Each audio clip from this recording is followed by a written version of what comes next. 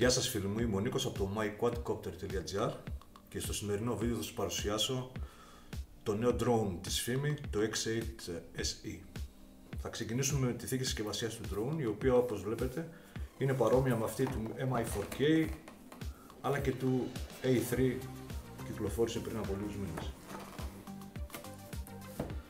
Λιτή γραμμή, χάρτινη συσκευασία, μικρό το μέγεθος και η οποία μπορεί να μας συνοδεύσει στις πρώτες μας πτήσεις ως θήκη μεταφοράς του drone.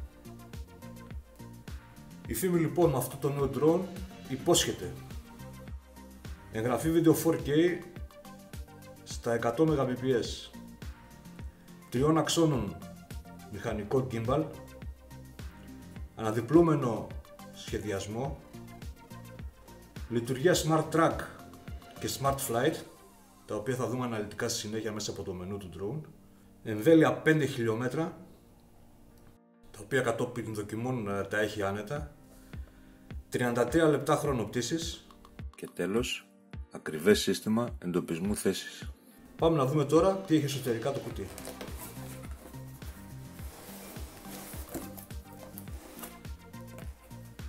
Στο πάνω μέρος του κουτιού υπάρχει αυτό το χάρτινο πλαίσιο στο οποίο περιγράφονται τα, τα εξαρτήματα τα οποία βρίσκονται μέσα στη συσκευασία και εδώ είναι το QR code το οποίο μπορούμε να σκανάρουμε με την κινητή μας συσκευή και να κατεβάσουμε την εφαρμογή. Η εγκατάσταση εφαρμογής μπορεί να γίνει επίσης και manual με μια απλή αναζήτηση μέσα από το Google Play Theme Navi είναι το όνομα της εφαρμογής.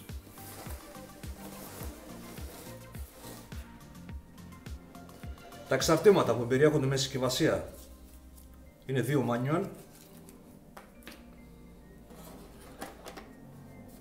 το χειριστήριο του drone.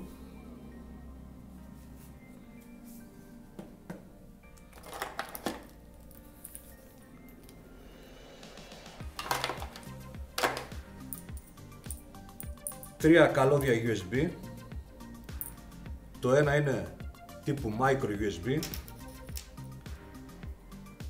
το δεύτερο είναι USB Type-C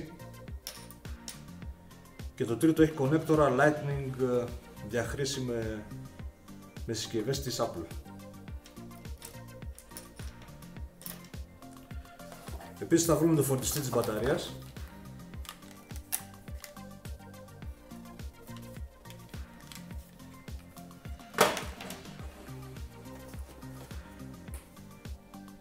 το τετρακόπτερό μας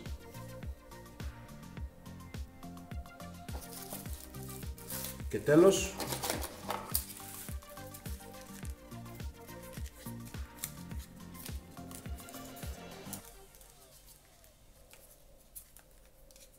και τέλος τέσσερις έλικες για χρήση με τον drone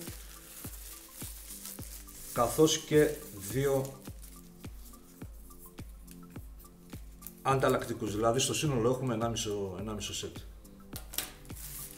Θα ξεκινήσουμε τώρα με το κυρίως σώμα, με το σκάφο μας, με το τετρακόπτερο το X8. Λοιπόν, το, το X8 έχει διαστάσεις 204 επί 106 χιλιοστά, ενώ σε πλήρη ανάπτυξη στα 372 χιλιοστά. Το βάρος του με την μπαταρία έτοιμο για πτήση ανέρχεται σε 790 γραμμάρια. Έχει μέγιστο επιτρεπόμενο ύψος πτήσης τα 500 μέτρα μέγιστο χρόνο πτήσης, ο οποίος είναι σχετικός, χωρίς άνεμο και με ταχύτητα στα 8 μέτρα ανά δευτερόλεπτο, περίπου 33 λεπτά, σύμφωνα πάντα με την κατασκευάστρια εταιρεία. Οι βραχίονες ανοίγουν στην ευθεία προς τα έξω χωρίς να χρειάζεται να δώσουμε κάποια, κάποια κλίση, δηλαδή η διαδικασία είναι πολύ απλή.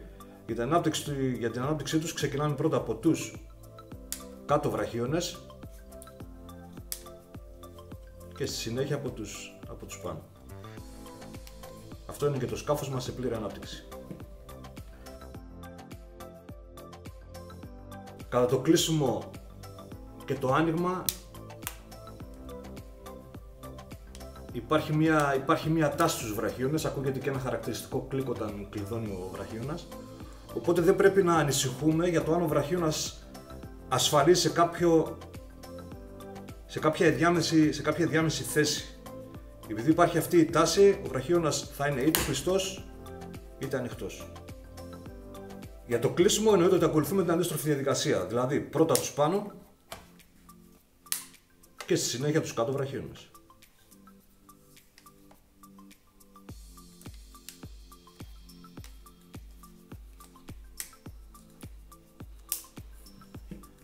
Τι βλέπουμε τώρα στο πάνω μέρος, στο πάνω μέρος του drone; Εδώ είναι το λογότυπο της φήμη.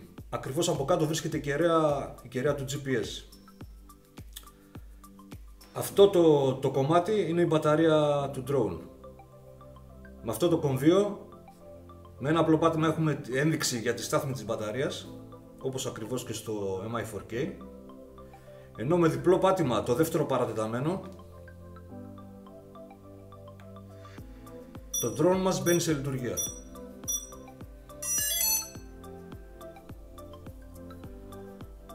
Συνεχίζουμε με τα μοτέρ. Τα μοτέρ είναι τύπου brushless κατασκευασμένα από αλουμίνιο όπως μπορείτε να δείτε και στο βίντεο και εξωτερικά δεν αναγράφεται καμία ένδειξη για τον τύπο τους. Βάσει στον μπροστά μοτέρ υπάρχουν LED για φωτεινές ενδείξεις. Πάμε τώρα, πάμε τώρα στο μπροστά μέρος του τετρακόπτερού μας. Αυτό το μαύρο πλαστικό δεν πρέπει να μας ξεγελά. Εσωτερικά δεν υπάρχουν αισθητήρες αποφυγής εμποδιών, είναι απλά διακοσμητικό. Από κάτω ακριβώς έχουμε την κάμερα. Η κάμερα έρθει με αυτό το προστατευτικό αφρόδες πλαίσιο, το οποίο να σας πω την αλήθεια χρησιμοποιώ ακόμα και σήμερα κατά τη μεταφορά του drone. Η κάμερα η οποία μας υπόσχεται λήψεις 4K. Αυτό λοιπόν είναι και το τριών αξώνων μηχανικό gimbal, το οποίο συγκρατείται στο πάνω μέρος με τέσσερις λαστιχένιους αποσβεστήρες και δύο λαστιχένιους αποσβεστήρες στα πλαϊνά.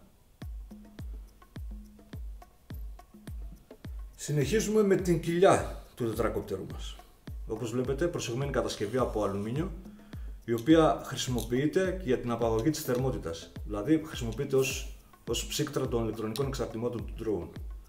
Κάτω επίσης θα βρούμε μία κάμερα που χρησιμοποιείται για την οπτική σταθεροποίηση του drone και έναν αισθητήρα υπερήθρων για την ανείχνευση του ανάγλυφου του εδάφους. Το δεξί πλαϊνό μέρος του drone έχουμε αυτό το λαστιχένιο πορτάκι. Τι κρύβεται τώρα μέσα σε αυτό; Η θύρα για την micro SD κάρτα μας. Micro USB η οποία χρησιμοποιείται για να τραβάμε, για να κατεβάζουμε τα βίντεο και τις φωτογραφίες μας στον υπολογιστή χωρίς να χρειάζεται να εξάγουμε τη micro SD. Αυτό εδώ το κομβίο είναι για reset ή για bind μεταξύ του σκάφους και του χειριστηρίου, εάν αυτό φυσικά απαιτηθεί. Και εδώ τέλος έχουμε ένα διακόπτη με δύο επιλογές, RCA Remote Controller ή Wi-Fi. Με τον, διακό... με τον διακόπτη αυτό ουσιαστικά επιλέγουμε αν επιθυμούμε ως κύριο μέσο ελέγχου του αεροσκάφους στο χειριστήριό μας ή αν επιθυμούμε μέσω της κινητής μας συσκευής με Wi-Fi. Η λειτουργία αυτή για χειρισμό του τετρακόπτερού μας μέσω Wi-Fi δεν έχει ενεργοποιηθεί μέχρι και σήμερα. Αναμένεται η ένταξή της σε μελλοντικές αναβαθμίσεις. Πριν προχωρήσουμε με την παρουσίαση της, ε, του χειριστηρίου μας, θα ρίξουμε ματιά τόσο στους έλικες όσο και στην ε, μπαταρία τους σκάφους μας. Έχουμε δύο ειδών έλικες, με ή χωρίς αυτές τις grip παύλες. Οι έλικες με τις grip παύλες αντιστοιχούν στα μοτέρ στα οποία βρίσκουμε στον βραχίωνα αυτή την, την grip παύλα έτσι ώστε να μην μπερδευόμαστε πού μπαίνουν οι έλικες. Πάμε να δούμε τώρα πώς τοποθετούνται οι έλικες στα μοτέρ μας. Πιέζουμε και γυρίζουμε αριστερόστροφα. Επαναλαμβάνω ότι ο έλικας με τις grip παύλες ακολουθεί τη φορά των δικτών του ορολογιού. Ενώ για αυτούς που ακολουθούν αντίστροφη, την αντίστροφη φορά των δικτών του ορολογιού πιέζουμε και γυρίζουμε δεξιόστροφα.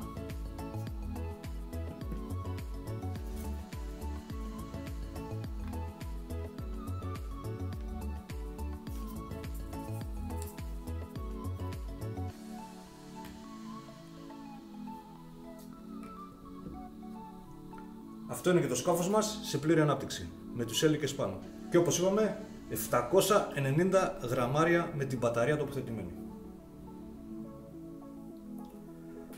Πάμε να δούμε τώρα την μπαταρία του τετρακόπτερου μας.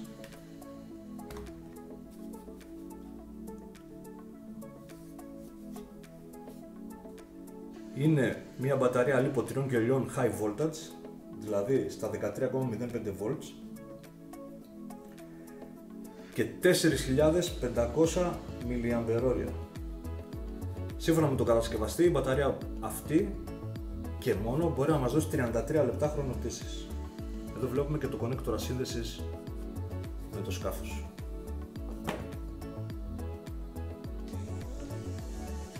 Η τοποθέτησή της πολύ απλή, απλά τη σιρταρώνουμε μέσα στη θήκη της και με ένα ελαφρύ πάτημα μέχρι να ακούσουμε το χαρακτηριστικό κλικ κλειδώματος.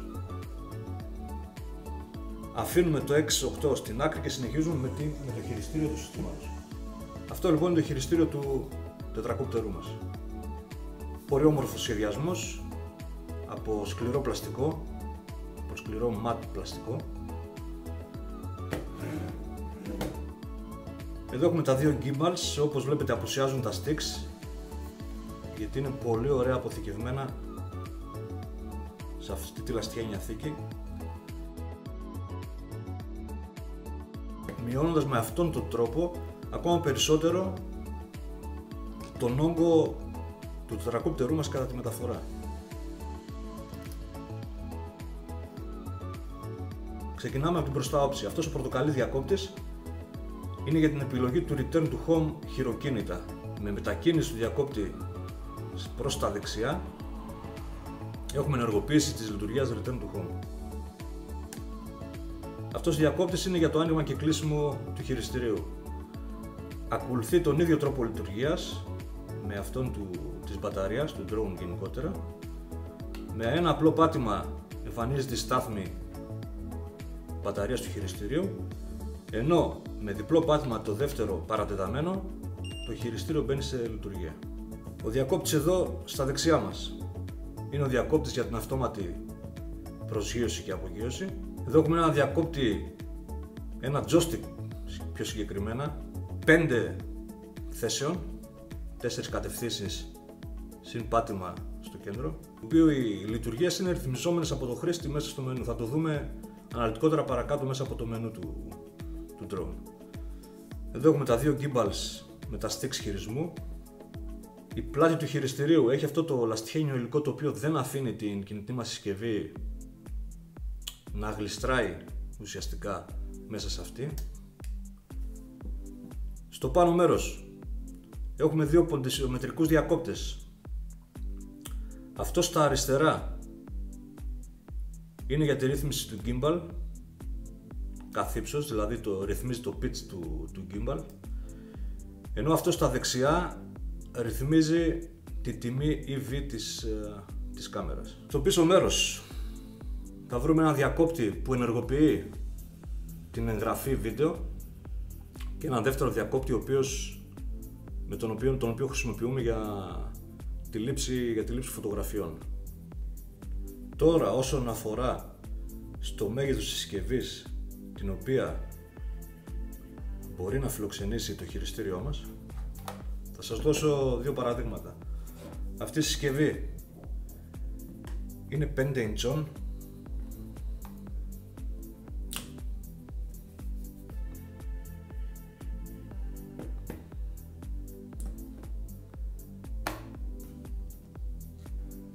Και αυτό είναι το tablet που χρησιμοποιώ καθημερινά στις πτήσεις μου και δεν είναι άλλο από το ε, Asus Google Nexus του 2013 στις 7 inches.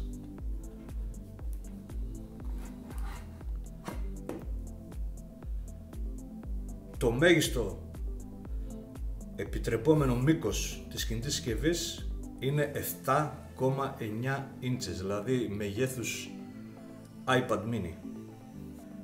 Τέλος, η φόρτιση και η σύνδεση της κινητής μας συσκευής με το χειριστήριο γίνεται μέσω αυτών των δύο θυρών. Εδώ έχουμε μια full USB θύρα για σύνδεση του χειριστηρίου με το κινητό μας τηλέφωνο, το tablet μας και εδώ μια micro USB θύρα για φόρτιση του χειριστηρίου μας. Συνεχίζουμε με την εφαρμογή Fiminavi, την οποία όπως είπαμε μπορούμε να κατεβάσουμε είτε μέσω του QR code από την συσκευασία του τετρακόπτερου μας είτε μέσω μιας απλής αναζήτησης στο Google Play σε Android συσκευές. Αμέσως μετά το κατέβασμα και την εγκατάσταση εφαρμογής θα χρειαστεί να εγγραφούμε στην εφαρμογή. Αυτό μπορούμε να το κάνουμε είτε μέσω του λογαριασμού μας στην Xiaomi, mi account, είτε μέσω του λογαριασμού στο Facebook, είτε δημιουργώντας ένα νέο λογαριασμό στην εφαρμογή. Επόμενη στάση, το γραφικό περιβάλλον χρήστη. Αυτή είναι η εικόνα που θα αντικρίσουμε μόλις συνδεθούμε με το σκάφος μας. Στο πάνω μέρος της οθόνης έχουμε τα δεδομένα τηλεμετρίας ε, του συστήματος. Ξεκινώντας από αριστερά προς δεξιά, η πρώτη ένδειξη είναι το κατακόρυφο ύψος από το σημείο απογείωσης. Η δεύτερη ένδειξη είναι η οριζόντια απόσταση από το σημείο απογείωσης. Οι δύο επόμενες ενδείξεις vertical speed και horizontal speed είναι η κατακόρυφη και οριζόντια ταχύτητα του σκάφους αντίστοιχα. Δεν πρέπει να ξεχνάμε ότι μιλάμε για δεδομένα τηλεμετρίας σε πραγματικό χρόνο, δηλαδή οι ταχύτητες που προανέφερα το ύψος, η απόσταση είναι σε πραγματικό χρόνο. Η επόμενη ένδειξη είναι η κατάσταση του, του σκάφους μας. Εκεί φαίνεται το ποιο mode πτήσης έχουμε επιλεγμένο εκείνη τη στιγμή. Οι ενδείξεις που μπορούν να, να εμφανιστούν σε αυτό, το, σε αυτό το πλαίσιο είναι GPS, VPU και ATI. Το επόμενο εικονίδιο εμφανίζει την κατάσταση του, του GPS. Το εικονίδιο αυτό έχει κόκκινο χρώμα όταν έχουμε λήψη 0 έως 6 δορυφόρων. 7 έως 12 δορυφόροι θεωρείται καλό το σήμα και το χρώμα είναι κίτρινο, ενώ από 13 δορυφόρους και πάνω θεωρείται άριστο το σήμα και το εικονίδιο έχει χρώμα άσπρο. Περνάμε στα επόμενα δύο εικονίδια. Το πρώτο εικονίδιο μας δίνει την ισχύ σήματος μετάδοσης της εικόνας, ενώ το δεύτερο εικονίδιο στα δεξιά μας δείχνει την ισχύ σήματος για μετάδοση των δεδομένων τελομετρίας, δηλαδή για τη ζεύξη μεταξύ τηλεκατεύθυνσης και σκάφους. Το επόμενο εικονίδιο μας δείχνει σε πραγματικό χρόνο τη στάθμη της μπαταρίας. Τέλο, στην επάνω μπάρα τέρμα δεξιά έχουμε τις ε, ρυθμίσεις του συστήματος. Επιλέγοντας το γρανάζι, μπαίνουμε σε αυτές τις ρυθμίσεις και ακριβώς από κάτω το χρονόμετρο σε λευκό φόντο μας δείχνει τον εκτιμούμενο χρόνο πτήσης. Η επόμενη περιοχή αφορά στις λειτουργίες της κάμερας. Ε, με το πρώτο εικονίδιο μπαίνουμε στις ρυθμίσεις ε, της κάμερας. Μπορούμε να αλλάξουμε τις παραμέτρους όπως ε, η τιμή EV, ISO, το κλίστρο, Μπορούμε να επιλέξουμε μεταξύ φωτογραφίας ή βίντεο, αναλύσεις κτλ. Με το επόμενο εικονίδιο κάνουμε αναλλαγή μεταξύ βιντεοκάμερας και φωτογραφικής μηχανής. Το επόμενο κόκκινο εικονίδιο είναι το κομβίο εγγραφής φωτογραφίας και, και βίντεο. Ενώ το τελευταίο εικονίδιο στην κατηγορία μας δίνει πρόσβαση στα αποθηκευμένα αρχεία στην microSD κάρτα. Το εικονίδιο στην κάτω δεξιά γωνία μας δίνει πρόσβαση σε έξυπνες λειτουργίες πτήσης, ενώ τα δύο εικονίδια στα αριστερά του προσθέθηκαν με τις τελευταίες αναβαθμίσεις και μας δίνουν τη δυνατότητα αυτόματης προσγείωσης και απογείωσης και μέσα από την κινητή μας συσκευή. Η μπάρα στο κάτω μέρος της οθόνης μας δίνει πληροφορίες τόσο για το gimbal όσο για τις παραμέτρους της κάμερας. Τέλος, στο αριστερό κάτω μέρος της οθόνης έχουμε τη θέση του, του drone σε πραγματικό χρόνο πάνω στο χάρτη.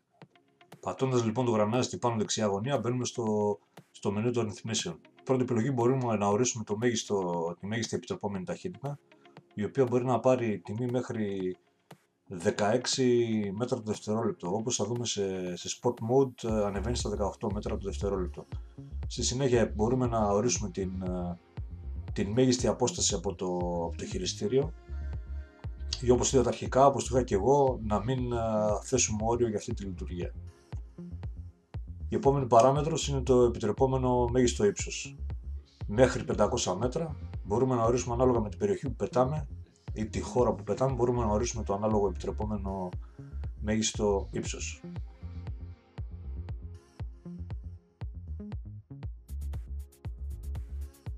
Η επόμενη επιλογή είναι η ρύθμιση του ύψους πτήσης κατά τη λειτουργία Return to Home. Με την ενεργοποίηση του Beginner Mode, όπως βλέπουμε όλες οι παράμετροι παίρνουν default τιμές. Δηλαδή, η μέγιστη επιτρεπόμενη ταχύτητα πτήσης στα 6 μέτρα ένα δευτερόλεπτο, η μέγιστη απόσταση στα 100 μέτρα, ενώ το μέγιστο ύψος στα 50 μέτρα. Συνεχίζουμε την ενεργοποίηση με τους Sport Mode. Σε Sport Mode, όπως βλέπουμε και από την καρτέλα, μέγιστη επιτρεπόμενη ταχύτητα ανεβαίνει στα 18 μέτρα το δευτερόλεπτο, ενώ δεν υπάρχει δυνατότητα πτήσης με VPU. Στη συνέχεια υπάρχει ένδειξη για το επίπεδο της μαγνητικής παρεμβολής. Μπορούμε να δούμε δηλαδή οπτικά πόσο μεγάλη είναι αυτή η παρεμβολή. Μπορούμε να κάνουμε βαθμονόμηση της πηξίδας μέσα από, από αυτό το μενού. Επίσης να κάνουμε έλεγχο της IMU. Όσον αφορά στο fail safe, μπορούμε να επιλέξουμε είτε όριση hover του, του σκάφους, είτε land προσγείωση του σκάφους, είτε εν τέλει ε, return to home το να επιστρέψει το, το σκάφος σε περίπτωση ανάγκης στην, ε, στο αρχικό σημείο ε, απογείωσης. Ε, η, η, λειτουργία home point όπως βλέπετε δεν είναι ενεργοποιημένη γιατί δεν βρισκόμαστε σε, σε GPS, δεν έχουμε αποδεκτό σήμα, αποδεκτό σήμα δορυφόρων. Τώρα, όσο αφορά στο precise landing, είναι μια λειτουργία που έχει αυτό το, το τετρακόπτερο ώστε να προσγειώνονται με ακρίβεια σε συγκεκριμένο, σε συγκεκριμένο μεγέθους και, ε, και χρώματος ε, ελικοδρόμια για, για drone Δυστυχώς, μέχρι πριν από δύο αναβαθμίσεις, αυτή η λειτουργία ήταν αποδεκτή. Με τα τελευταία, με τα τελευταία firmware είναι αδύνατο το σκάφος να βρει το ελικοδρόμιο, οπότε προσγειώνεται εκτός αυτού, αλλά πολύ κοντά γύρω στο, στο μισό μέτρο από το ελικοδρόμιο. Με τη λειτουργία Home Point μπορούμε να ορίσουμε ως σημείο επιστροφής του σκάφους ή το αρχικό σημείο απογείωσης, που είναι το βελάκι, είτε το μπορούμε να επιλέξουμε το ανθρωπάκι που είναι σε πραγματικό χρόνο θέση του, του χειριστηρίου. Δηλαδή, μπορεί να έχουμε μετακινηθεί αρκετά μέτρα από το αρχικό σημείο απογείωσης, οπότε μπορούμε να ορίσουμε αυτό το σημείο, το νέο σημείο στο οποίο βρισκόμαστε, ως, ε, ως σημείο προσγείωσης του, του σκάφους. Με τις δύο τελευταίες επιλογές μπορούμε να αριθμίσουμε τα gain και expo της, ε, του χειριστηρίου, καθώς και την ευαισθησία σε διάφορες λειτουργίες. Πηγαίνοντας στην δεύτερη, στη δεύτερη καρτέλα, βλέπουμε η πρώτη επιλογή που έχουμε είναι η βαθμονόμηση της, του χειριστηρίου η δεύτερη επιλογή μπορούμε να επιλέξουμε ανάμεσα σε ποιο mode λειτουργίας επιθυμούμε το, το χειριστήριο. Το mode 2 που έχω επιλεγμένο είναι με το throttle στο αριστερό stick. Και ακολούθως βλέπουμε τις, τις 5 επιλογές για το joystick που υπάρχει στην, στην, στο χειριστήριο. Μπορούμε να επιλέξουμε μέσα από αυτές τις 8 λειτουργίες τρίτη καρτέλα αφορά στο gimbal αποκλειστικά. Μπορούμε να κάνουμε βαθμονόμηση του gimbal ή να αλλάξουμε την ταχύτητα του pitch και τα gains του gimbal. Τέταρτη καρτέλα είναι η καρτέλα για την μπαταρία. Βλέπουμε το ποσοστό που του απομένει, συνολικά μιλιαμπέρ καθώς και εναπομείναντα, κύκλους φόρτισης της μπαταρίας, θερμοκρασία, πόσες φορές η μπαταρία έχει αποφορτιστεί κάτω του επιτρεπτού ορίου. Την επόμενη ένδειξη, το low battery warning, μπορούμε να επιλέξουμε το ποσοστό της μπαταρίας που θέλουμε να, να εμφανίζεται η πρώτη προειδοποίηση. Όπως βλέπετε ξεκινάει από 30% και ανεβαίνει. Όταν η λειτουργία Return to Home One Battery Only Enough for Return to Home είναι ενεργοποιημένη, το σκάφος μπαίνει σε λειτουργία Return to Home όταν η τάση της μπαταρίας είναι αρκετή μόνο για την επιστροφή. Ο υπολογισμός αυτός γίνεται από τον Flight Controller κατά τη διάρκεια της πτήσης και σε πραγματικό χρόνο.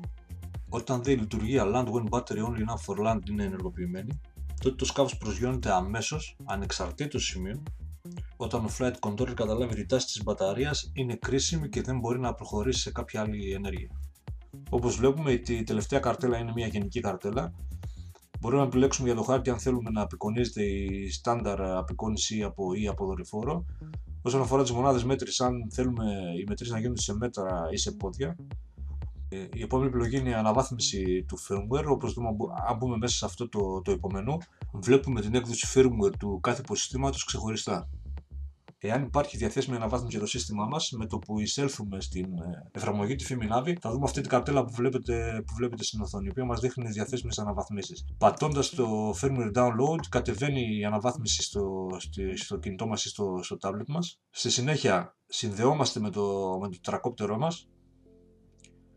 Και εδώ έχουμε δύο επιλογές. Είτε να κάνουμε όπως βλέπετε κατευθείαν την, ε, την αναβάθμιση, πατώντας το Update Now, είτε με το Ignore Μπορούμε να κάνουμε την αναβάθμιση αργότερα, μπαίνοντας στο μενού ρυθμίσεων στην πέμπτη καρτέλα μέσα στο υπομενού firmware update μπορούμε να δούμε για ποια υποσυστήματα υπάρχει διαθέσιμη, διαθέσιμη ενημέρωση.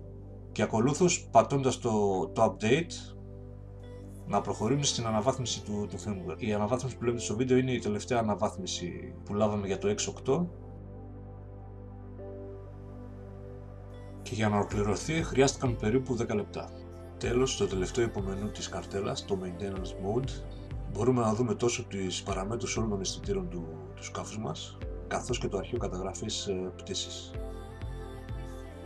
Συνεχίζουμε με το μενού ρυθμίσεων της κάμερας. Όπως βλέπετε για την κάμερα έχουμε δύο, δύο mode, αυτόματο και χειροκίνητο. Στο αυτόματο μπορούμε να, μπορούμε να αλλάξουμε μόνο τη τιμή EV, είτε μέσω της εφαρμογής είτε από το ποντισιομετρικό διακόπτη στα δεξιά του χειριστηρίου, ενώ είναι απενεργοποιημένη δυνατότητα να αλλάξουμε τη τιμή ISO.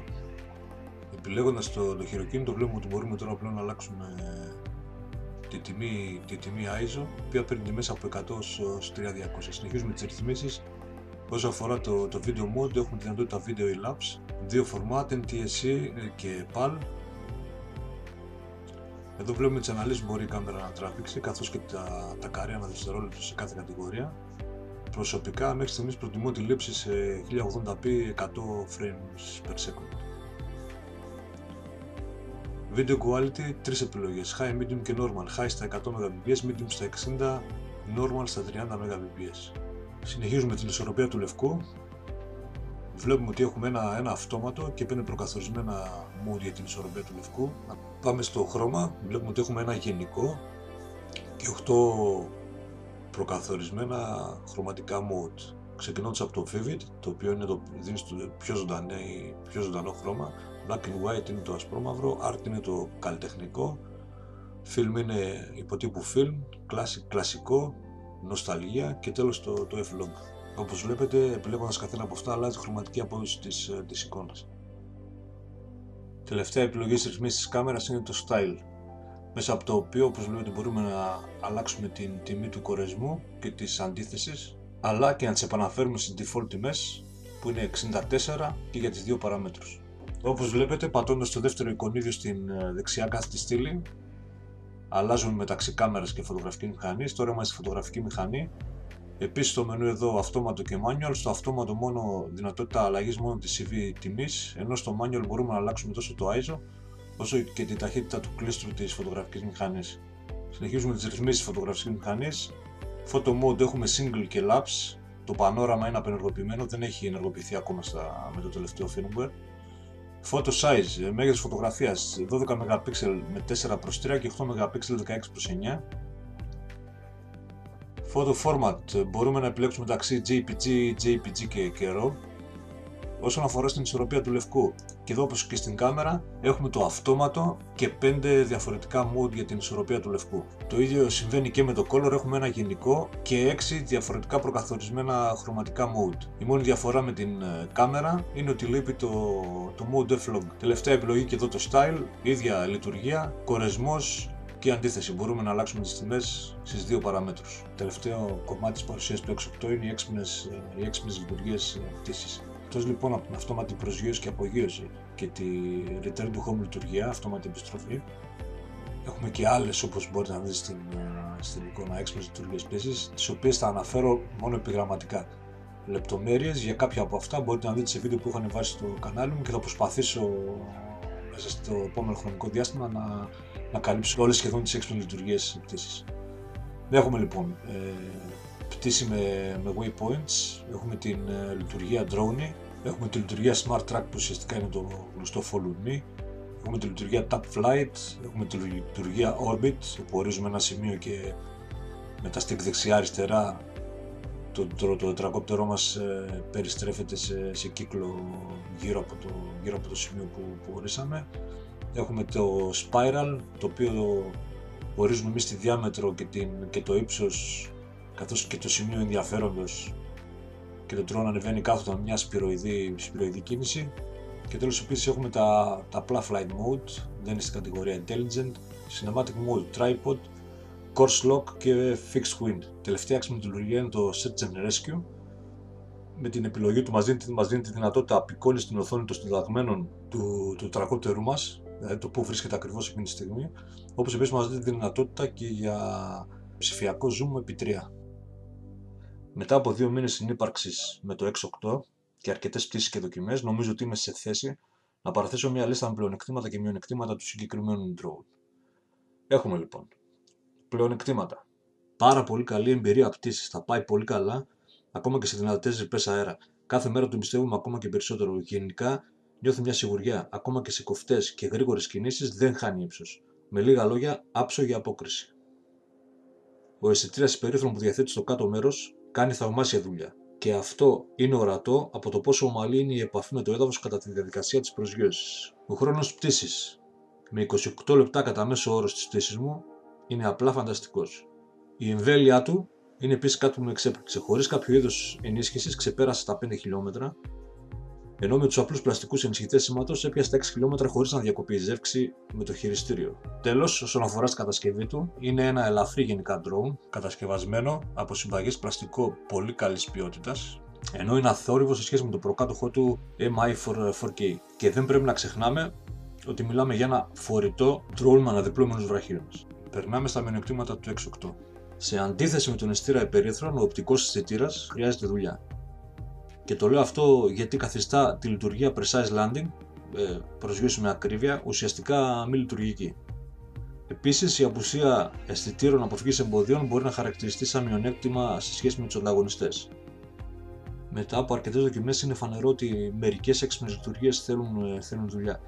Φαντάζει σαν πρόβλημα στο firmware και όχι στο hardware. Ελπίζουμε ωστόσο για τη βελτίωση αυτών των λειτουργιών με μελλοντικές αναβαθμίσεις. Τέλος, όσον αφορά στα μειονεκτήματα, η κάμερα που διαθέτει το drone έχει περιθώρια βελτίωσης. Η απόδοσή της είναι σαφώς βελτιωμένη σε σχέση με τα αρχικά firmware, αλλά εξακολουθεί να χρήζει βελτίωσης. Εδώ φίλοι μου τελείωσε η παρουσίαση του Fimi X8SE. Αν σας άρεσε η παρουσίαση μην ξεχάσετε να εγγραφείτε στο κανάλι μου στο YouTube. Ευχαριστώ πολύ και καλές και ασφαλείς πτήσεις.